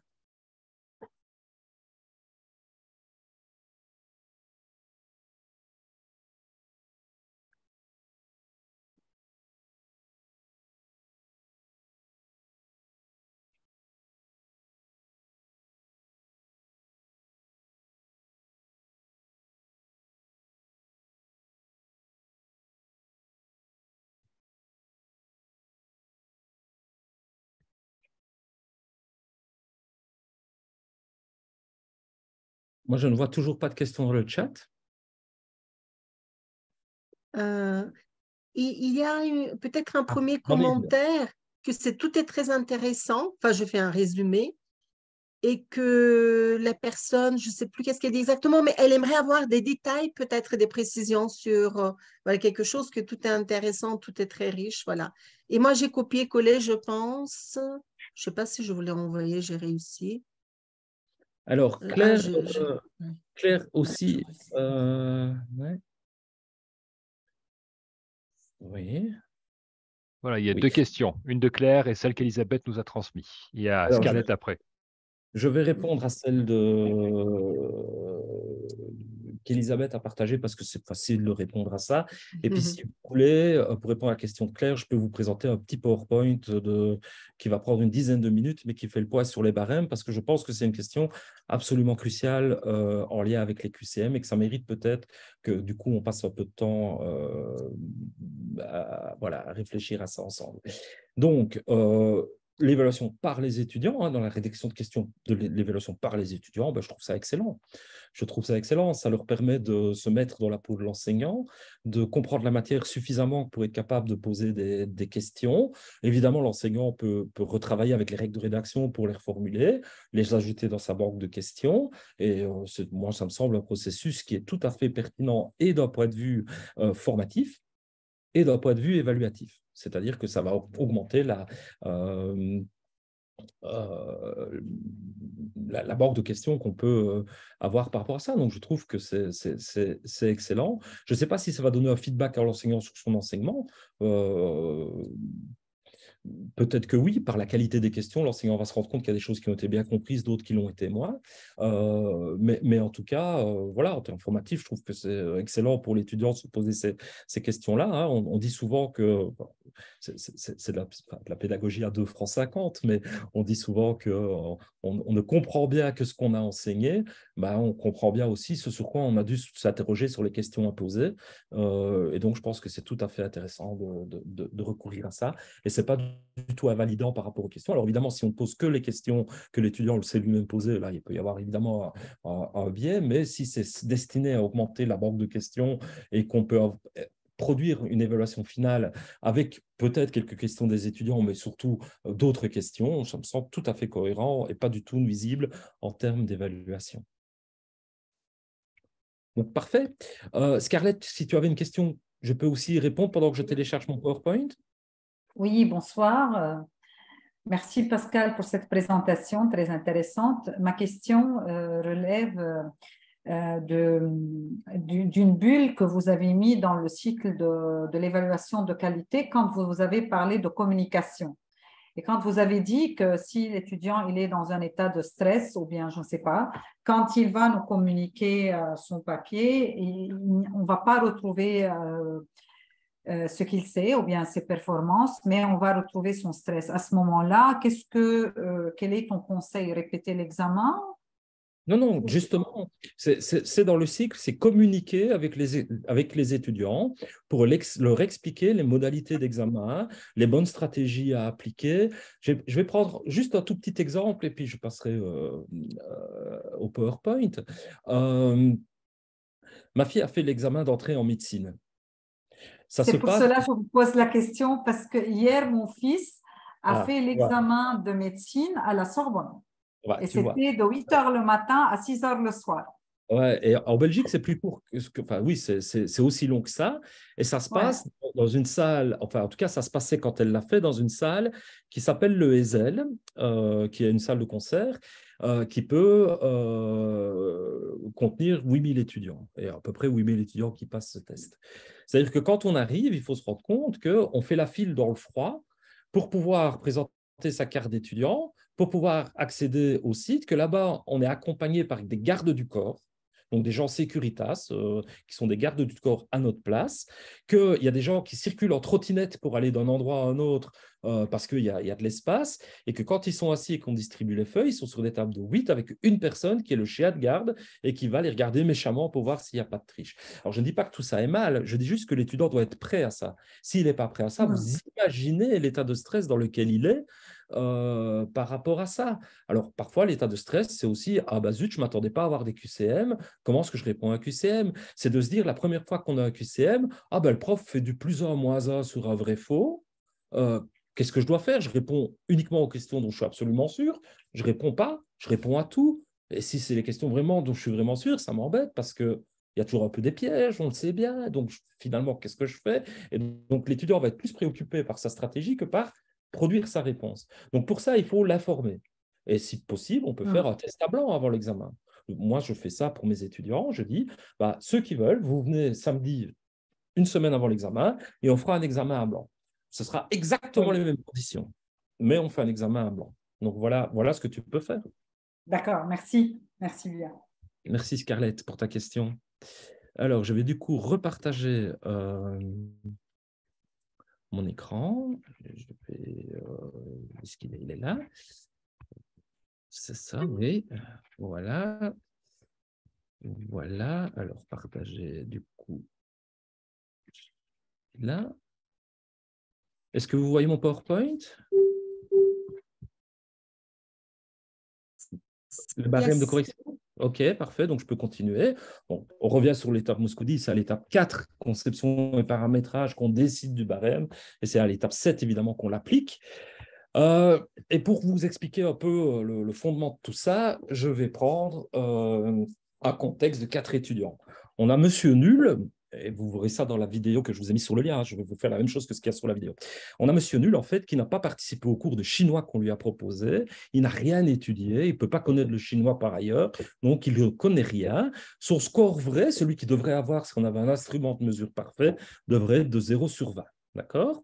Madame Groutière, elle connaît bien 35% de la matière, et donc son score vrai devrait être de 35 sur 100. C'est classique. Monsieur Moitié connaît bien 50% de la matière, son score vrai devrait être de 50 sur 100. Madame Parfaite connaît parfaitement bien la matière, son score vrai devrait être de 100%. D'accord?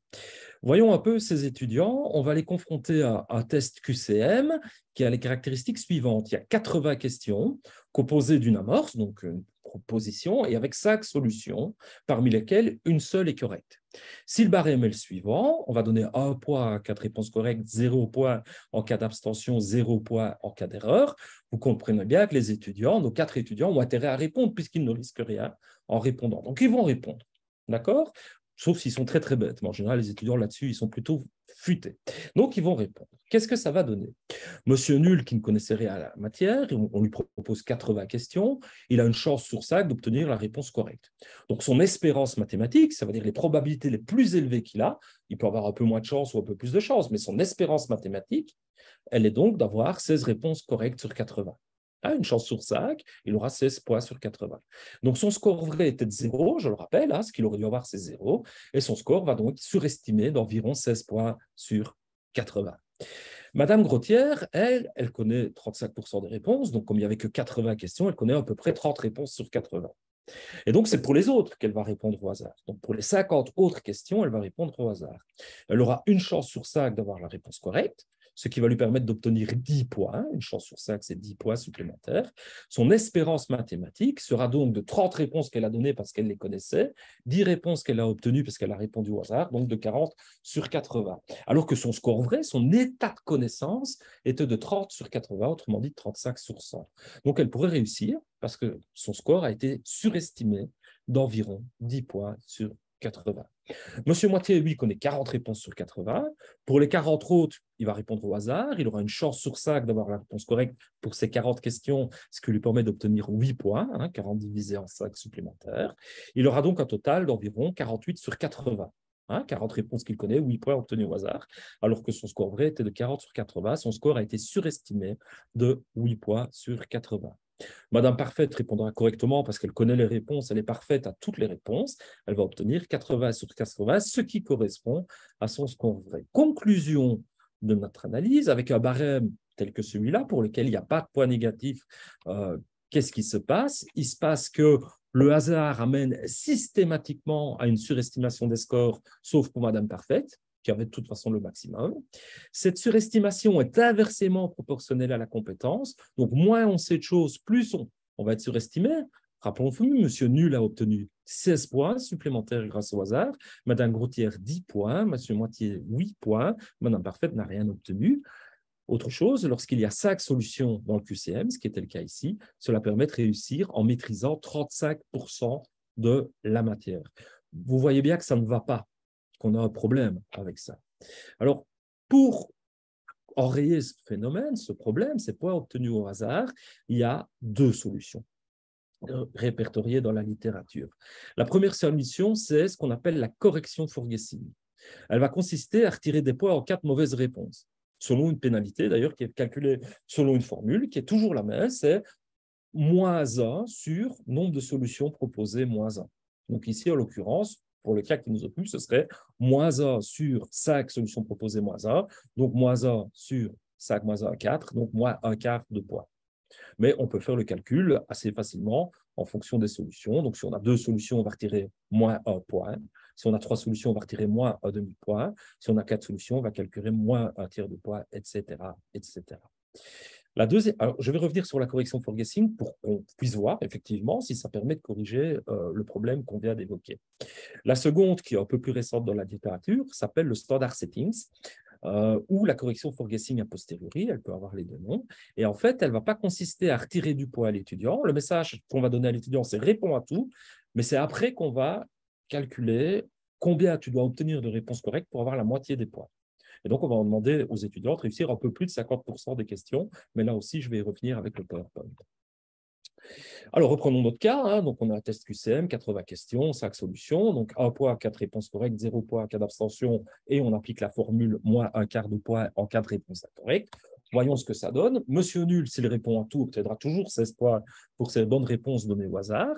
Mais pour chacune des 64 réponses, hein, si c'est 80 questions, bah, il en a 16 pour lesquelles il a la réponse correcte et donc 64 incorrectes. Donc pour les 64 réponses, il sera pénalisé d'un quart de point. Or, 64 fois moins un quart, ça nous donne moins 16.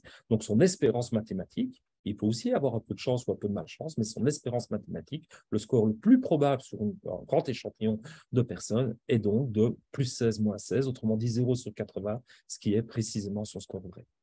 Madame Grotière connaît toujours 30 réponses, elle va taper dedans pour les 50 réponses qui restent, elle va toujours obtenir 10 points pour les réponses correctes qu'elle a données au hasard, mais il y a 40 erreurs qu'elle va faire, donc 40 réponses incorrectes, qui vont être pénalisées d'un quart de poids, ce qui va lui rapporter moins 10 points. 40 fois moins un quart, ça fait moins 10. Elle aura donc au total 30 plus 10, les 30 qu'elle connaissait, pour lesquelles elle avait la certitude de ses réponses, plus 10 question qu'elle a gagné au hasard, moins 10 points qu'elle a perdu à cause aussi du hasard. Donc, elle a 30 sur 80, c'est son score. Monsieur Moitié, on va passer aussi un peu de temps dessus parce que retenez-le bien, on va le revoir tout à l'heure, Monsieur Moitié. Il connaît toujours 40 réponses sur 80 questions. Il obtiendra toujours aussi 8 points, 40 réponses pour lesquelles il a une chance sur 5. Il va avoir 8 réponses correctes pour les réponses qu'il a données au hasard. On va lui retrancher un quart de point pour les 32 erreurs qu'il va commettre, soit 32 fois moins un quart égale moins 8. Donc, au total, il aura 40 plus 8 moins 8, c'est 40 sur 80, ce qui correspond à son score vrai. Et Madame Parfaite, elle va répondre correctement à tout, elle obtiendra 80 sur 80, ce qui correspond à son score vrai. Donc, vous voyez que grâce à ça, et c'est l'unique vertu des points négatifs, c'est pas pour emmerder les étudiants, c'est pas pour être sévère, c'est l'unique vertu des points négatifs, c'est corriger, ce sont d'ailleurs le nom qu'on donne, correction for guessing, c'est corriger les points gagnés par l'étudiant quand euh, il répond au hasard. Donc, la correction for guessing ajuste l'espérance mathématique au score vrai de l'étudiant. Ça, c'est cool. Notons que si nos amis et amis avaient choisi de s'abstenir plutôt que de répondre au hasard, là où ils ne savaient pas les réponses, ils auraient obtenu le même score.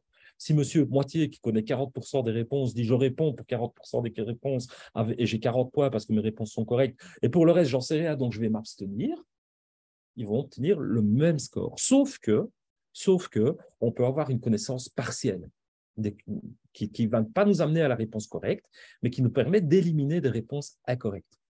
Donc, si j'ai Monsieur Parfait, euh, peut-être, euh, ou un moment, enfin, ou n'importe quel autre de nos étudiants, va se dire, OK, j'ai cinq possibilités de réponse, je sais que ce n'est pas la 2, je sais que ce n'est pas la 3, je sais que ce n'est pas la 4, mais j'hésite entre la 1 et la 5. Et donc, vous voyez bien que dans ce cas-là, vu le barème qui est appliqué, il a intérêt à répondre. Parce qu'il a une chance sur deux d'avoir la réponse correcte et qu'en fait, la pénalité va tenir compte du fait qu'en fait, il a cinq solutions proposées. Donc, il a intérêt à répondre. Et donc, répondre dans un contexte d'incertitude peut rapporter des points. J'y reviendrai par rapport à la correction for guessing, plutôt que l'abstention. D'accord?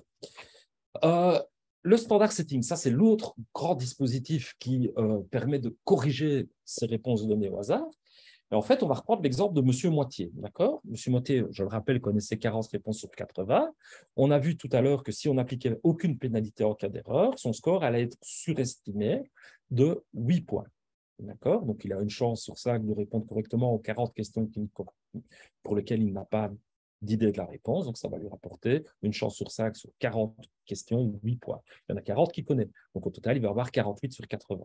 Or, son score vrai était de 40 sur 80, hein. son score vrai était 40 sur 80. En fait, et je l'ai dit tout à l'heure, c'est exactement ce que je vous ai dit la première fois que j'ai parlé de M. Moitié, son score a été surestimé de 8 points sur 80. Et eh bien, dans le cas du standard sceptique, on va juste considérer que cette surestimation doit être corrigée, mais après l'examen. Donc, on ne va pas retirer des points pendant l'examen ou item par item. On va juste dire un étudiant aura 10 sur 20 dans le cas que je viens de vous citer, 40 questions avec 5 modalités de réponse. Euh, il aura 10 sur 20 quand l'étudiant aura donné 48 réponses correctes. Et là, il aura 10 sur 20. Oh, mais c'est plus que la moitié. Oui, c'est plus que la moitié parce qu'on pense qu'il a obtenu 8 points par rapport au hasard. Et donc, il obtiendra 48 réponses correctes sur 80. Et c'est ça qui lui donnera la moitié des scores. Donc, dans ce contexte, les étudiants ont intérêt à répondre dans un contexte d'incertitude, évidemment dans tous les cas, puisqu'ils ne peuvent pas perdre de points s'ils répondent. Tout ce qui risque d'avoir la réponse correcte. Et donc, comme on compte que les réponses correctes et que la pondération se fait a posteriori, on est sur quelque chose où l'étudiant a systématiquement intérêt à répondre. S'il ne répond pas, il est vraiment très, très bête. Alors, après on peut calculer le nombre de questions qu'il faut réussir en fonction du nombre de solutions proposées, en fait. Prenons un vrai-faux. Avec la correction for guessing, telle que je vous l'ai dit, plus 1 moins 1, un étudiant a 50% des points, à la moitié, quand il a répondu correctement à combien de questions Mais en fait, à 75 questions, parce qu'il va avoir 75 questions correctes, donc il va avoir 75 points, il va avoir 25 erreurs, on va les retirer en points, 75 moins 25, ça fait 50 sur 100. D'accord? Donc, dans un vrai faux, classique, correction for guessing, un étudiant réussit son test, s'il répond à tout, s'il ne s'abstient pas, en tout cas, il réussit son test s'il a 75% des réponses correctes. Et c'est ce qu'on va calculer dans le standard settings. On va dire un étudiant pour réussir un vrai faux, on ne lui retire pas de points négatifs en amont, mais après, on applique une correction sur son score et on va dire il lui faut 75% pour un test vrai-faux. Et si on applique la même chose avec la pénalité présente dans la correction for guessing classique, on sait qu'il faut 66,666666% euh, des réponses pour un test correct pour réussir un test à trois solutions, 62,5% des réponses correctes pour obtenir un test à quatre solutions, pour obtenir la réussite un test à quatre solutions, et 60% pour réussir un test comprenant des questions à cinq solutions. Donc, dans notre exemple d'un test à 80 questions avec 5 choix de réponse. On doit donc réussir 60% des questions et 60% de 80, c'est bien 48. Donc, CQFD. Alors ça, ça permet de statuer combien de questions l'étudiant doit réussir. Mais il y a une petite formule, parce que ben, l'étudiant, il s'intéresse à sa réussite, mais il veut aussi, s'il a réussi avoir un peu plus de poids, et vous, prof, si, si vous voulez donner un bon feedback, il faut aussi voir s'il est à 9 ou s'il est à 5 ou à 3. Et donc, une fois qu'on a le seuil de coupure qui a été déterminé et qui est exactement identique à celui de la correction for guessing classique, euh, alors on a appliquer la formule suivante, Z étant la note finale de l'étudiant, ce qu'on recherche, et qui est obtenue avec la formule 10 plus 10 divisé par n moins c fois y moins c, et en fait, la note finale de l'étudiant dépend. Enfin, le N, c'est le nombre de questions test. Le C, c'est le score de coupure, le seuil de coupure, donc là où il aura la moitié. Et le nombre de réponses correctes de l'étudiant, c'est Y. Et en appliquant cette formule, si on l'applique à notre monsieur moitié qui avait 80 questions, 5 solutions euh, et qui a donné 40 réponses correctes, on arrive bien, 48 euh, réponses correctes, pardon, on arrive bien à 10 sur 20. Et pour info, voilà, toujours pour ce test à 80 questions, le nombre de questions qu'il faut réussir pour avoir un score qui s'étale de 11 à 20. Donc, 50 réponses correctes amènent à 11, 69 réponses correctes amènent à 17, 79 réponses correctes amènent à 20 en appliquant la même formule. Conclusion, on a deux barèmes qui fonctionnent très bien pour euh, corriger l'effet de réponse au hasard donné par l'étudiant. Lequel choisir? Lequel choisir? Ça se discute. Les deux sont vraiment bons. Euh, il semblerait qu'un certain nombre d'études, mais qui ne sont pas encore une fois confirmées par d'autres études, euh, c'est compliqué d'analyser vraiment la littérature et de prendre des décisions sur cette base-là. Mais quand même, il semblerait qu'il euh, y ait de l'aversion au risque qui empêche les étudiants, quand ils ont une connaissance partielle, c'est ce que je vous disais tout à l'heure, de répondre. Et donc, il y a des étudiants qui, alors qu'ils ont cinq solutions, hésitent entre deux solutions, vont pas choisir de répondre alors qu'en fait, ils ont intérêt à le faire. Donc, dans, la correction for guessing classique, la, la, différence entre les deux barèmes, en fait, c'est le statut de l'abstention. Je m'abstiens.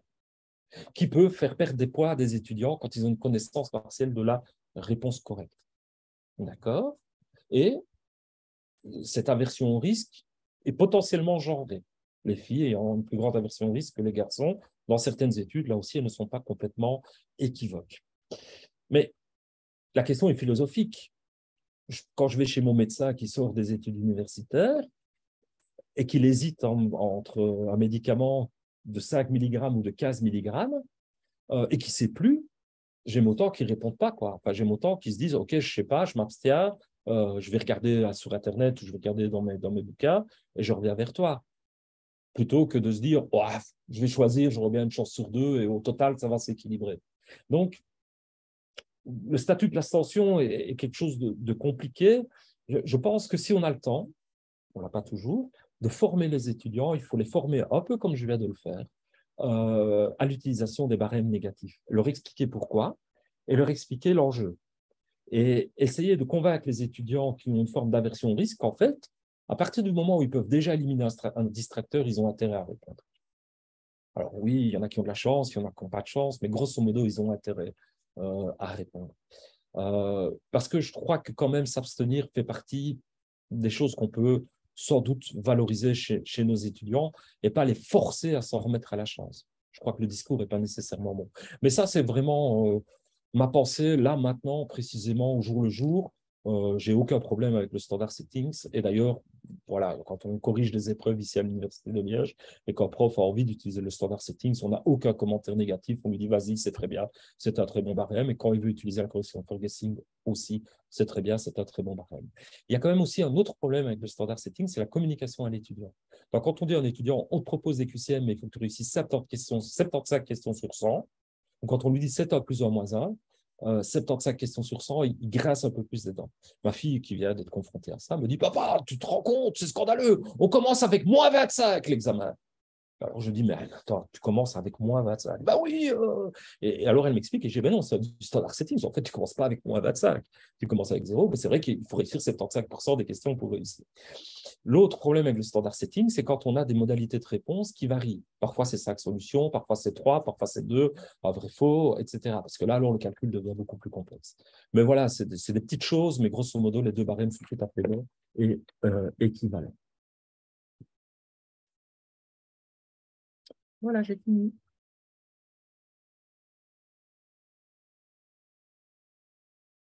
Bah, ça se discute, je vois l'intervention de, de. Leclerc.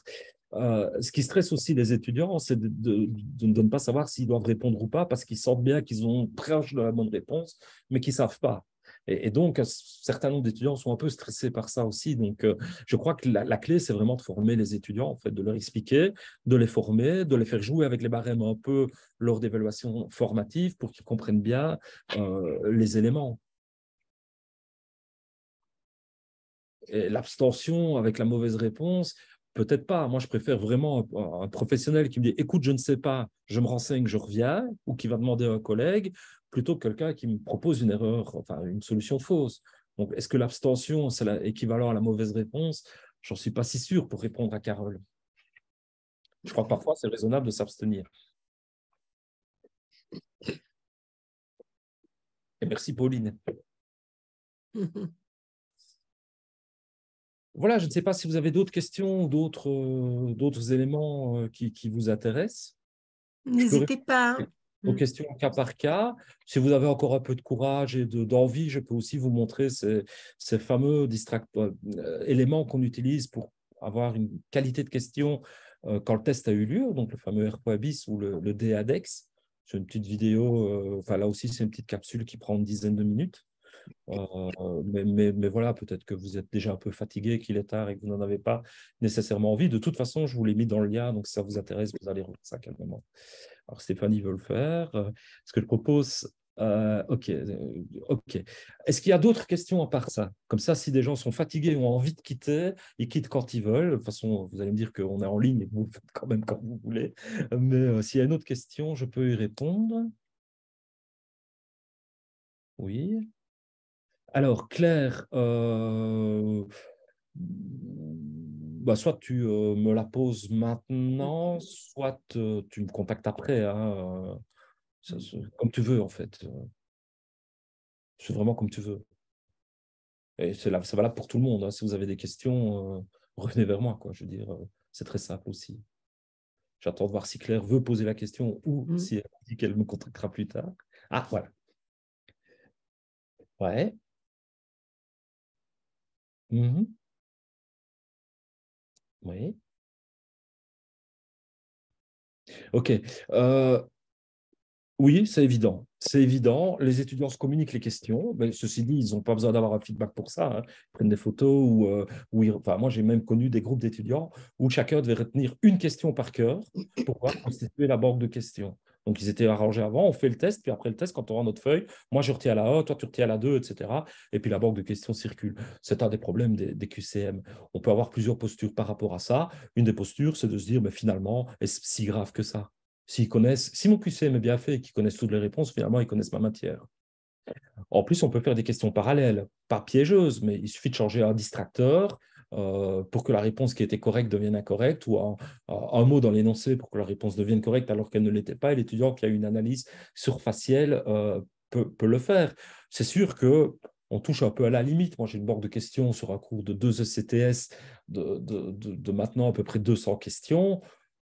Ouais, c'est difficile d'aller en créer de nouvelles.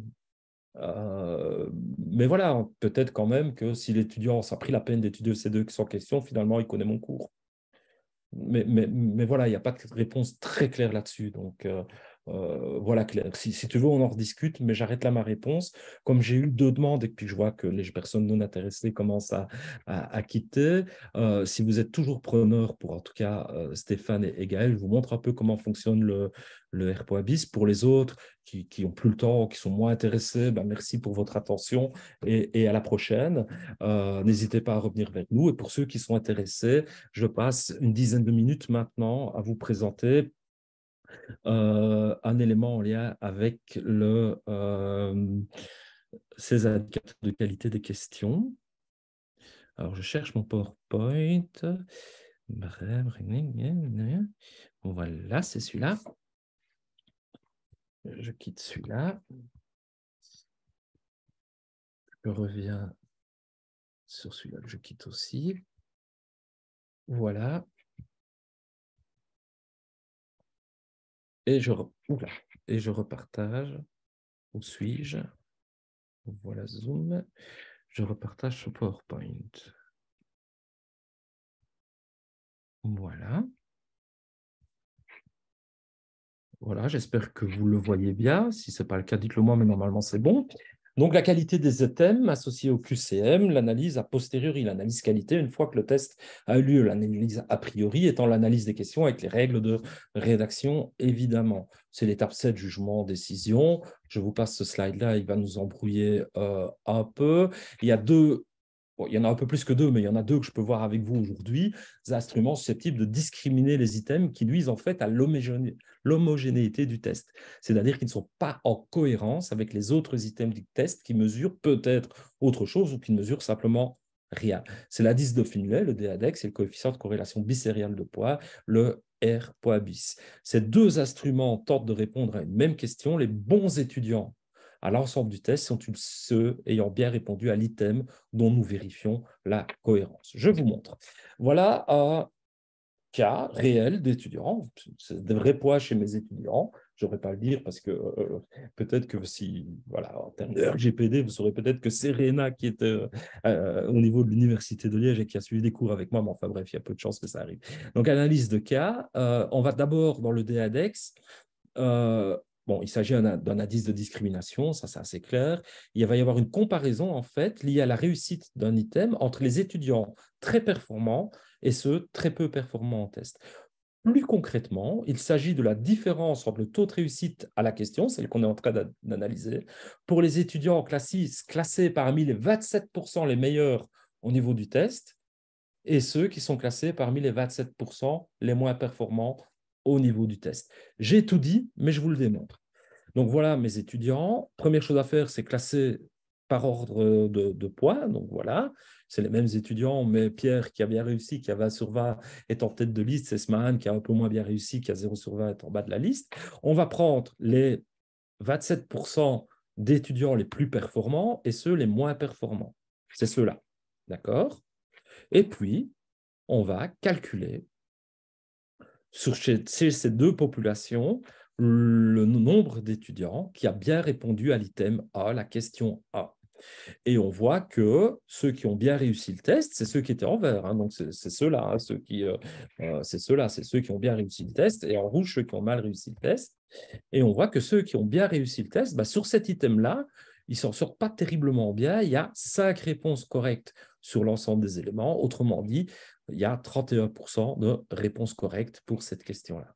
Et on voit que chez ceux qui ont raté le test, en fait, ils s'en sortent même un peu mieux, puisque chez eux, il y a 8 réponses correctes sur l'ensemble des étudiants, et ça fait 50% de réponses correctes. Et le DADEX, en fait, il est très simple. On va enlever les étudiants, le, pourcentage d'étudiants ayant réussi la question, des étudiants moins bons au test par rapport aux étudiants qui ont bien réussi la question, le pourcentage d'étudiants ayant bien réussi la question et qui étaient bons au test, et on a un indicateur qui sort. Quand cet indicateur, c'est un indicateur qui va de moins 1 à plus 1, quand il est négatif, c'est qu'on a un problème avec la question. Quand il est faible, on estime généralement en dessous de 0,20, on a un problème potentiel avec la question. Quand il est positif, largement au-dessus de 0,20, on sait que c'est une question qui fonctionne plutôt bien. Je vous montre la question 2 pour vous montrer comment ça, peut jouer quand on a une question qui fonctionne bien. Donc voilà, les 27% qui ont mieux réussi le test, ils ont simplement fait, sur tous les étudiants qui sont là-bas, une erreur par rapport à la question 2. Ils ont un taux de réussite par rapport à cette question de 0,93. Ceux qui ont moins bien réussi le test, donc ceux qui sont les plus faibles au test, ils ont seulement 6 réponses correctes, donc ils ont un score de 0,4. Et là, on va soustraire les deux et on obtient 0,53. C'est un item qui fonctionne comme on attend qu'il fonctionne, c'est-à-dire qui a pénalisé les étudiants euh, les plus faibles au test et qui a récompensé les étudiants les plus forts au test. C'est ce qu'on attend grosso modo d'un item. Donc, on a un D-index qui est positif. Et quand on fait ça sur l'ensemble de mes questions, de mes 10 questions, enfin, j'en ai pris que 10 hein, euh, au niveau de l'ensemble de, mon test, mais on voit que on peut le calculer assez facilement. Voilà une question qui fonctionne extrêmement mal, puisque chez ceux qui ont bien réussi le test, elle est réussie uniquement par deux étudiants, alors qu'elle est mieux réussie par ceux qui ont raté le test. On a d'ailleurs un indice qui est assez sévère. Hein. quand on, a un taux de réussite de 0,125 et qu'on enlève le taux de réussite de 0,43, on obtient un score négatif à moins 0,31. Et donc, ça nous permet de voir qu'il y a une alerte qualité. Une alerte qualité, ce n'est pas pour ça que la question est nécessairement mauvaise. N'empêche, ça nous fait quand même un peu douter sur la question A, qui a un D-index négatif, et sur la question 5, qui a un D-index négatif. C'est des items pour lesquels le message qu'on donne à l'enseignant, c'est est-ce que tu es sûr qu'il n'y a pas un problème d'encodage de la réponse correcte? Est-ce que cette question est cohérente? Est-ce qu'elle mesure la même chose dans le test? Etc. etc. Puis l'enseignant peut décider, oh là là, je me suis trompé, évidemment, ce n'était pas la, question 1, la réponse correcte n'était pas celle que je vous ai donnée, mais une autre. D'accord? Donc voilà pour le D-index. Vous avez encore un peu de courage? Je ne vous vois pas, donc on va imaginer que oui.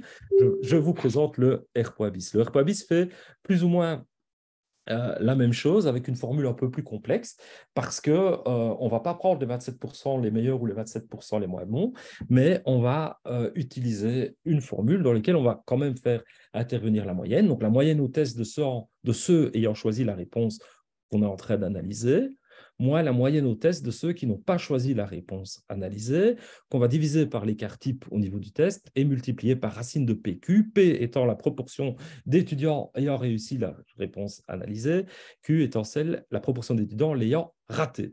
C'est un tout petit peu complexe comme ça, mais ça va se clarifier euh, n'ayez crainte. En fait, c'est une corrélation c'est une corrélation entre une variable dichotomique, avoir choisi ou pas la bonne réponse, et une variable métrique, le score qu'on a sur euh, l'ensemble du test. D'accord? Alors, voyons ce que ça nous donne. On a de nouveau nos étudiants. Euh, les voilà. On analyse la question A et on voit que Anan, à la question A, a répondu 4. La réponse 4, il y avait 4 distracteurs et il a répondu la réponse 4. Lisa a répondu la 3, Nathalie a répondu la 4, etc. La 2 est la réponse correcte, c'est pour ça qu'elle est en verte. Les rouges sont les réponses incorrectes, c'est pour ça qu'elles sont en rouge. On prend ces données-là et on est tout à fait capable de voir ceux qui ont donné une réponse correcte sont en vert et on voit leur moyenne, par leur moyenne, on voit leur résultat à l'ensemble du test, le nombre de réponses correctes qu'ils vont pu donner à l'ensemble du test. Et quand on a ça, ben, on peut calculer nos deux moyennes. Donc, on va calculer la moyenne de ceux qui ont réussi l'item, qui ont donné la réponse correcte attendue à l'item. Donc, c'est Rémi, c'est Aurélie. On va, on faire la moyenne de tous ces étudiants-là. Ils sont 18. Donc, ils vont avoir une moyenne de 8,97 à l'ensemble du test. Et on va calculer la même chose pour tous les étudiants qui ont choisi un autre distracteur, quel qu'il soit. Faites-moi confiance. Ils sont 42. J'ai 60 étudiants au total. J'ai fait la petite moyenne et ils obtiennent 9 sur 82. Les, le, oui, l'écart type test est de 4,47. Ça, je l'ai calculé par ailleurs. Ils sont 18% à avoir donné la réponse correcte, donc ils sont 30% au niveau de l'ensemble du test. Ils sont 42% à avoir donné la réponse, avoir choisi une réponse incorrecte, donc ils sont 70%. On multiplie P par Q, ça fait 0,21. Et quand on met tout ça dans la formule, là, je vais faire un peu de magie. Voilà. On a une formule qu'on peut calculer et on a un R bis qui est ici de moins 0,09. Le R bis est aussi un indicateur, comme c'est une corrélation, qui varie entre moins A et plus A. Et on attend d'un test qu'il atteigne un R bis. C'est une convention supérieure à 0,20. D'accord? Donc ici, il est négatif, il est mauvais. On ne sera pas étonné, c'est la même question qui avait déjà tilté par rapport au DADEX qu'on avait appliqué précédemment, donc on n'en est pas étonné. Ce qui est intéressant avec le bis, c'est que le travail qu'on vient de faire par rapport à la réponse correcte, on peut le faire pour chacun des distracteurs. Et donc ici, il n'y a pas de rouge et de vert parce que ce n'était pas la réponse attendue, mais on regarde ceux qui ont donné la réponse correcte A et on va appliquer exactement la même formule. D'accord? On l'applique. Donc, on fait une moyenne de ceux qui sont ici en orange. Ils sont 18, c'est l'effet du hasard. Ils étaient 18 à donner la réponse 2, ils sont 18 à donner la réponse A. C'est le hasard. Euh, mais ils obtiennent une moyenne de 11,3, ceux qui ont donné euh, cette réponse A. Alors que ceux qui n'ont pas donné la réponse A, donc Anan, Lisa, Nathalie, Leïla, et on voit bien que c'est le score de Anan, Lisa, Nathalie, Leïla, donc tous ceux-là, ils ont un score moyen de 8,3. 7. L'écart type n'a pas changé. Par l'effet du hasard, PQ n'a pas changé. Voyons ce que ça donne. Et on voit ici un R bis positif pour rapport à la question, à la solution A. Donc, on est dans un pattern intéressant. La question 2 a R bis faible, euh, pardon, la solution 2 a R bis faible, la solution A a R bis tout à fait bon. Voyons maintenant sur ceux qui ont répondu les réponses 3. Voilà, on fait exactement la même chose, faites-moi confiance, on applique la même formule, on a un R bis au total qui est de moins 0,07 faible. Bah, on n'en attendait pas moins puisque c'est une réponse réputée comme étant fausse. C'est plutôt l'indicateur 1 qui, qui, est perturbant dans l'histoire et le 2 qui fonctionne mal. Mais là, le 3, il est vraiment, c'est un distracteur faux et il fait ce qu'on attend d'un distracteur faux, c'est-à-dire être négatif. Et on peut appliquer la même chose avec ceux qui ont donné la réponse 4 on réapplique la formule et on voit effectivement qu'on a un R bis négatif qui fonctionne tout à fait bien. Et donc, on est face à cette question. Euh, ah oui, j'ai oublié de vous le dire évidemment, mais vous l'avez fait par vous-même. Euh, évidemment, sur euh, la solution 3, bah, PQ ne sont pas les mêmes parce que le nombre d'étudiants qui, ont euh, choisi la réponse correcte ou incorrecte ont changé. Il n'y a pas eu là l'effet du hasard où on avait la même chose. Donc, on a recalculé PQ, mais voilà, vous vous, en doutiez. Donc, je peux passer à la suite.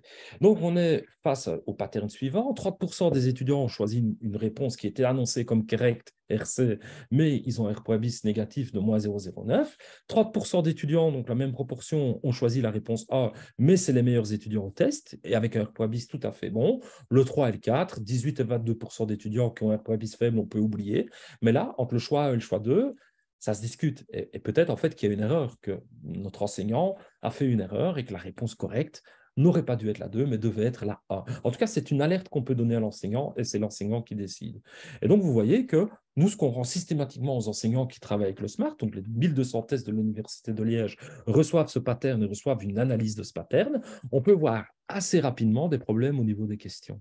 Donc ici, 16% des étudiants choisissent, mais c'est les meilleurs, donc on ne va pas s'en inquiéter. La difficulté d'une question n'est pas un indice de la qualité d'une question. On peut avoir des questions difficiles ou des questions faciles qui tournent très bien. Moi, ça ne me choque pas d'avoir une question qui est répondue correctement par 16% des étudiants, surtout si c'est les meilleurs. C'est simplement une question qui va discriminer les meilleurs. On ne va pas beaucoup s'inquiéter là-dessus. Ce qui m'inquiète par contre ici, c'est le 0,16 qui est un peu en dessous du seuil, surtout qu'ici, on a 0,37 Hein, pour la question 2, si vous ne voyez pas mon curseur, avec un peu plus d'étudiants qui l'ont choisi. C'est une première alerte. Alors, c'est une alerte qui ne va pas nous faire complètement paniquer. Euh, euh, on va avoir une alerte sérieuse, mais pas non plus ultime par rapport à cette question-là. Par contre, l'alerte ultime, on l'aura pour la question 11, où là, on a un R bis de moins 0,38, donc c'est les moins bons étudiants en test qui ont choisi notre réponse correcte. J'ai oublié de le dire, les réponses correctes sont évidemment les réponses euh, en grisé, alors qu'on a le choix A qui a été choisi par les bons étudiants, avec 37% d'étudiants qui l'ont choisi. On pourrait dire aussi que la, choix 5 est un peu analysé, puisqu'il a été quand même assez bien choisi avec un bis disons, un peu supérieur. Et donc là, on a une alerte sérieuse, on va dire au prof, vérifie cette question. Là, c'est quand même chaud par rapport à cet item et cet indicateur. Quand on fait ça, l'enseignant peut modifier son test il peut dire, bah oui, je me suis trompé, c'était pas la réponse A, c'était la 3, c'était la 1, mais aussi la 3. Enfin, vous voyez, il peut jouer un peu avec ça. Et quand on le fait, on voit que la courbe se déplace vers la droite. Encore une fois, non pas parce qu'on est sympa avec les étudiants, mais juste parce qu'on a rectifié des erreurs par rapport à nos tests. Donc, merci Airpoabis de nous aider à faire ça.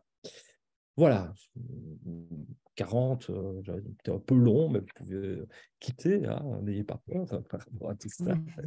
Mais il me semblait que ce n'était pas inintéressant d'aborder ça. Merci.